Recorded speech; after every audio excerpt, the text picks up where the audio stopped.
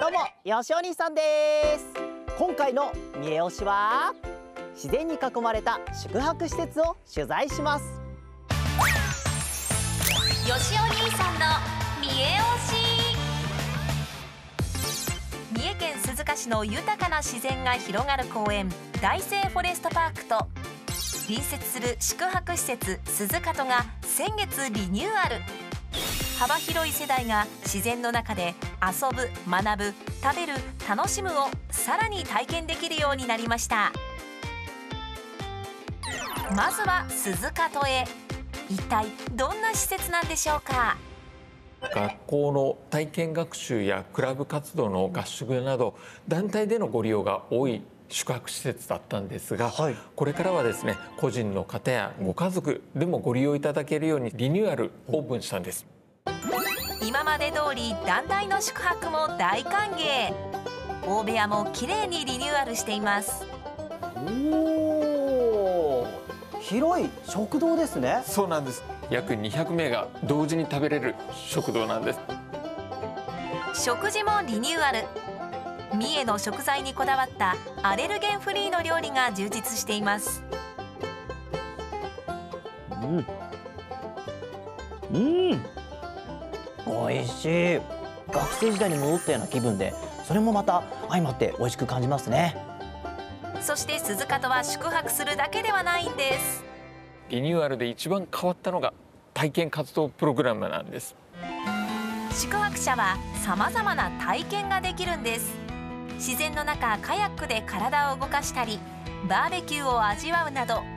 室内では SDGs な取り組み創作活動が盛りだくさん中でも特に自然を楽しめるというのがフィールドビンゴを準備をさせていただきました。フィールドビンゴ、はい、マスに書いてあるお題をクリアしてビンゴを埋めていくゲーム。木の実や葉っぱ鳥の声や可愛い花など自然を公園の中で探します。はいでは行ってきます。はい行ってらっしゃい制限時間は15分。まずは可愛い花をスケッチ。よしこれで可愛いお花 OK ということですね。続いてこんなお題も。よいスタート。よ一二三。オッケー。やりました あこれ楽しいな。よしお兄さん次々と自然を発見。じゃん私的には見事全部見つけた気でいるんですが、ね、満点ですありがとうございます。ありがとうございます。普段こう普通に歩いてるとこう葉っぱをじーっと見たりしないのでいやとっても楽しかったです、うん、続いてはどんなプログラムでしょうか、はい、思い出をこれで作っていただきたいと思います。わかりました、はい、続いての体験は焼きすぎ。杉の板をバーナーで焼き表面のすすを落とすと木目がきれいに浮き出て光沢のある質感に。そこに絵を描いてオリジナルの壁飾りを作ります。もうこれを見た時に思ったんですが我が家あの表札がないもので玄関に飾りたいと思います。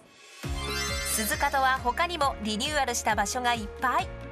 おお、はい、めちゃくちゃ広いというか、まあ、立派な体育館ですねさまざまなスポーツができる総合研修館。さらに個別のシャワー室や大浴場。楽器練習室や視聴覚室も新たに作られました。今回の一押しフォトはこちら。お兄さん的にはここで思いっきり体を動かしたいなと思いました。次回は大生フォレストパークを楽しんじゃいます。三重県職員採用候補者試験の受験申し込みを受付中です。詳細は三重県職員採用案内ホームページで公開中の受験案内を必ずご確認ください。